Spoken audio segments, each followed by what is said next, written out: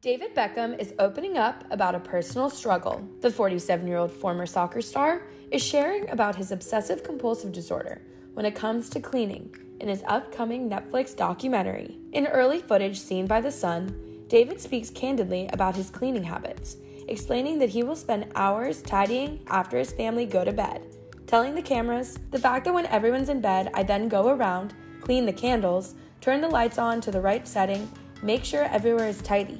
I hate coming down in the morning and there's cups and plates and you know bowls. It's tiring going around every single candle cleaning it.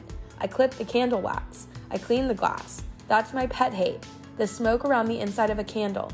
I know, it's weird. In an interview with ITV back in 2006, David originally opened up about his OCD, saying at the time, I've got this obsessive compulsive disorder where I have to have everything in a straight line or everything has to be in pairs.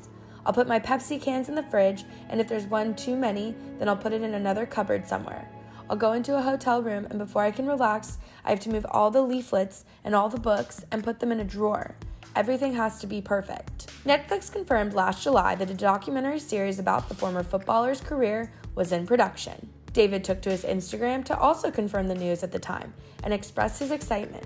Writing in part, I'm excited to confirm that I am partnering with at Netflix on a documentary series about my life and career. The series will feature unseen archive, untold stories, as well as interviews with the people who have been a part of my journey. The series is directed and produced by Academy Award winners Fisher Stevens and John Battsek. David and his wife, former Spice Girl Victoria Beckham, live in Holland Park, London. The couple share four children together 11 year old daughter Harper and three sons. 18 year old Cruz, 20 year old Romeo, and 24 year old Brooklyn. Last year, Brooklyn married socialite and actress Nicola Peltz in a lavish ceremony at her family's estate in Palm Beach, Florida. The newlyweds have only seemed more head over heels than ever since tying the knot.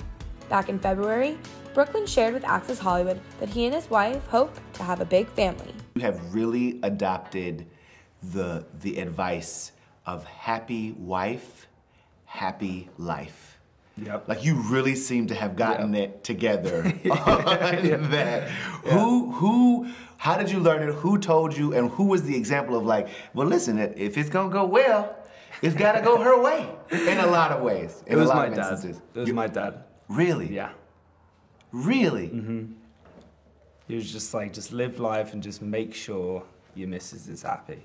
You know, I mean, that's, that's- kind of that's what he told me. That's best that's So- I mean a good advice you can get, I think. I from do that. everything to make her happy and make her feel comfortable. So it's good fun. You I know, love it. girls run the world and guys just live on this planet. So You're not wrong about it. You are not wrong about that. I, I it is cool to think about your dad giving you that advice and now being what uh, we're almost what a year now away from Almost. the the anniversary of you guys' wedding. yeah, we got married in April last year. So Doesn't it fly by? crazy.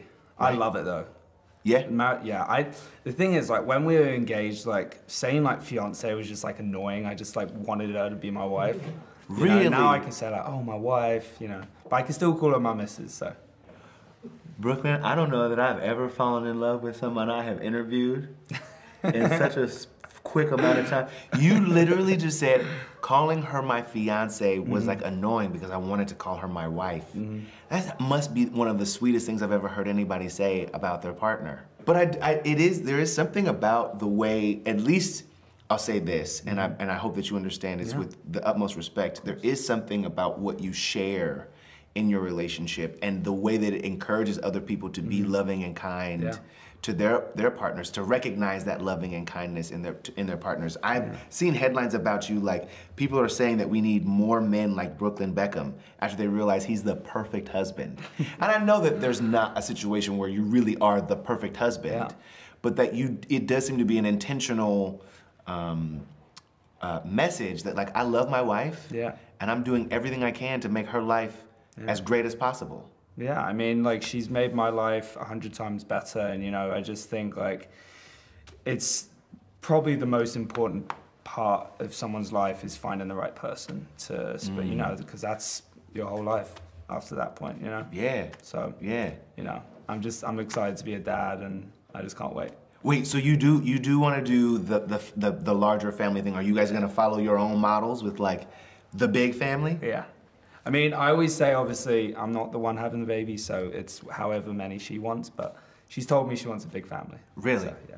Okay, give me a range. Like we're talking three to four, We're talking five to six, seven to fifteen. Like what's the situation? Um, you know, we've had conversations, and she's like, "Oh, I kind of want four or five, and then we want to adopt two or three. So, wow. yeah, That's really beautiful. yeah.